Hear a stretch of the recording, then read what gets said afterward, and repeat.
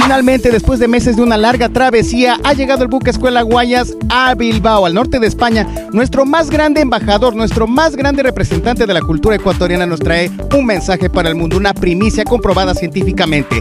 El origen del cacao está en el Ecuador para el mundo desde hace más de 5.500 años. Estoy ahora con el duro del chocolate ecuatoriano, embajador del chocolate ecuatoriano en el mundo, Santiago Peralta. ¿Qué tal? ¿Cómo estamos? Acá lo que está pasando es algo como que regresa, ¿no? El buque está regresando a su origen y está trayendo cargado del origen del cacao. Estamos hablando de origen, ¿no? El, buque fue hecho en Bilbao y el cacao nació, se domesticó y ahora se hace chocolate en Ecuador. Así es que básicamente el buque fue vacío y ahora está llegando cargado. Así es que es una, yo creo que es un tema muy metafórico, digamos, pero muy lindo, porque tanto España como Latinoamérica se han nutrido mucho de esas culturas, ¿no? Tenemos muchos nombres españoles, tenemos nuestra religión, tenemos nuestro idioma que nos junta.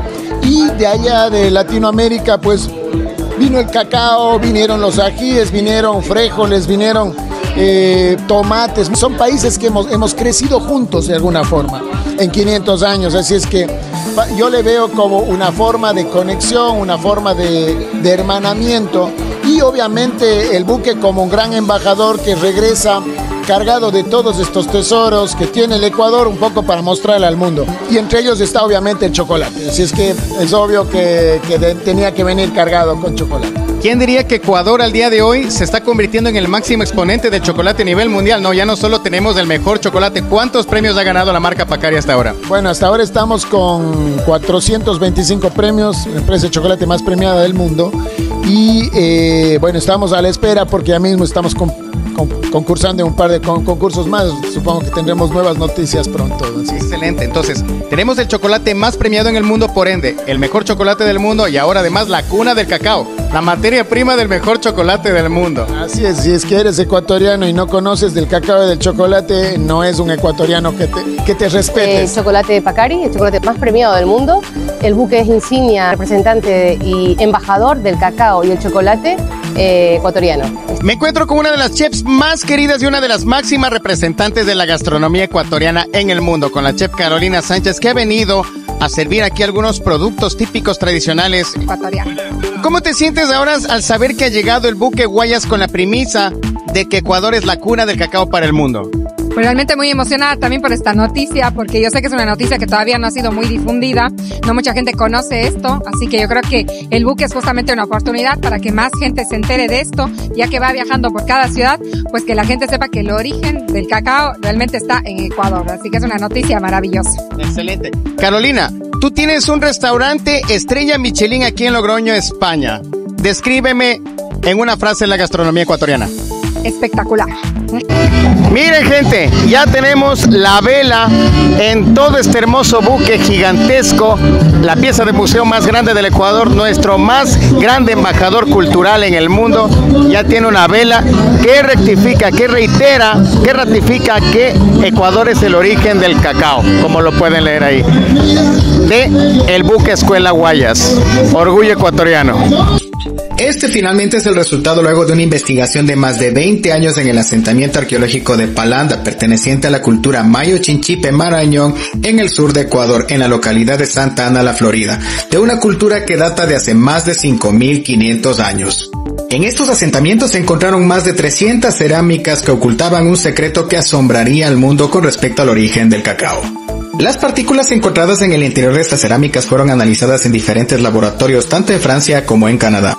Estas fueron sometidas a análisis de carbono 14 y los resultados que arrojaron son impresionantes. Y es que se logró determinar mediante la ciencia que las micropartículas encontradas en la mayoría de aquellas cerámicas contenían altos porcentajes de trazas de almidones provenientes del interior de las semillas del cacao dejándonos como una evidencia científica y concreta de que el consumo de cacao más antiguo en la historia de la humanidad hasta ahora registrado tuvo lugar en la alta Amazonía ecuatoriana.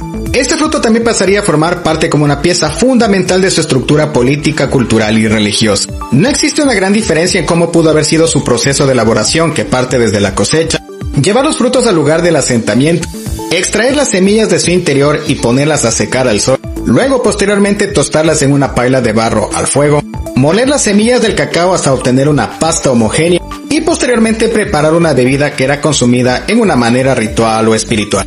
Y es que esta costumbre es muy similar en todas las culturas en las cuales se ha encontrado evidencia de su consumo. Y es que además, gracias a las investigaciones del científico ecuatoriano Francisco Valdés, autor del libro Las primeras sociedades de la alta Amazonía, la cultura mayo chinchipe Marañón, logró demostrarle al mundo que las culturas amazónicas no son tan primitivas como se pensaba hasta hace una década ya que estas civilizaciones que habitaron hace más de 5.000 años en la alta Amazonía ecuatoriana eran muy desarrollados en diferentes ámbitos como en el arquitectónico, en lo agrícola, ya que fueron estas quienes domesticaron el cacao. Además de en lo social y lo mercantil, ya que lograron establecer rutas de comercio entre la Amazonía, los Andes y la costa ecuatoriana.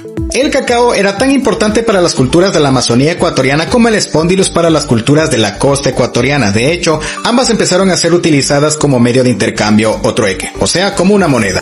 Y es debido a estas rutas comerciales y el intercambio de productos entre culturas como la Mayo Chinchipe Marañón y la cultura Valdivia de la costa ecuatoriana que se ha encontrado conchas de espóndilos en los asentamientos de la cultura Mayo Chinchipe Marañón que datan desde hace más de 5.000 años. La región costa o litoral del Ecuador comparte muchas similitudes con la Amazonía ecuatoriana en términos de biodiversidad y clima. De hecho, en la costa ecuatoriana también se han encontrado muchas variedades de cacao silvestre. Sin embargo, se ha determinado de que muchas de las variedades comerciales que se cultivan en la costa ecuatoriana también llegaron de la Amazonía ecuatoriana debido a las rutas de intercambio entre estas culturas antiguas. Actualmente, el cacao fino de aroma o cacao arriba ecuatoriano ya cuenta con una denominación que certifica que su origen está en el Ecuador y forma parte de los siete diferentes productos con denominación de origen ecuatoriano. Y hasta este punto muchos se preguntarán, ¿y cómo es que el cacao llegó también a los territorios mesoamericanos, centroamericanos, México, Guatemala, Honduras y también se convirtió en una pieza fundamental de su estructura cultural, política e incluso espiritual? Todo esto se debe gracias al intercambio mercantil por vía marítima entre las culturas antiguas ecuatorianas con las culturas antiguas mesoamericanas y centroamericanas. Y es gracias a esto que nuestras antiguas culturas madres pudieron traer productos que se integraron perfectamente a nuestra cultura y nuestra dieta, como el aguacate y el maíz. Como también el cacao pasaría a ser una pieza indispensable de su cultura. De hecho, la palabra cacao proviene del náhuatl, así como la palabra chocolate. Así que en este capítulo de la historia es muy importante resaltar la importancia de las culturas centroamericanas y mesoamericanas en la historia del cacao y el chocolate para el mundo. Otra gran evidencia del intercambio de estas culturas mesoamericanas con las culturas de la costa ecuatoriana es el hallazgo de perros de la raza Xolo Escuincle en tumbas encontradas en el Ecuador. El origen de este perro es indiscutiblemente de tierras centroamericanas y mesoamericanas y puedes creer que se han encontrado varias tumbas en la costa ecuatoriana en diferentes culturas en diferentes periodos que han sido sepultados con perritos de esta raza. Así como también en muchos asentamientos arqueológicos de Centroamérica y Mesoamérica se han encontrado joyas elaboradas con Spondylus princeps.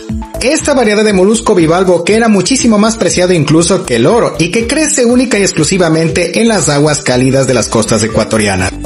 Pero la cerecita sobre el pastel y otro de los descubrimientos que más ha dejado desconcertados a los científicos es el hallazgo de piedras turquesas en estos asentamientos en la alta Amazonía ecuatoriana. La turquesa tenía un valor indispensable para estas culturas mesoamericanas, sobre todo en el aspecto mercantil, artístico y espiritual, algo similar a lo que significaba el Spondylus princeps para las antiguas culturas ecuatorianas. Esta piedra con un valor tan importante para las culturas mesoamericanas los territorios que puedes ver en este mapa centro-sur de México, la península de Yucatán, Guatemala, Belice, Honduras y hasta El Salvador, viajó miles de kilómetros vía marítima hasta llegar a las costas ecuatorianas. En estas grandes balsas o embarcaciones elaboradas con troncos de madera de balsa que abundan en las costas tropicales ecuatorianas. Las embarcaciones elaboradas por culturas antiguas ecuatorianas como la Valdivia, Jamacoaque, Manta Tolita, Manteño, Huancabil, Capunaes, incluso eran propulsadas por vela. Estas culturas incluso ya habían desarrollado un sistema de navegación guiándose por las estrellas. Y es por esta razón que muchos antropólogos y arqueólogos se refieren a las antiguas culturas de la costa ecuatoriana como los fenicios de América.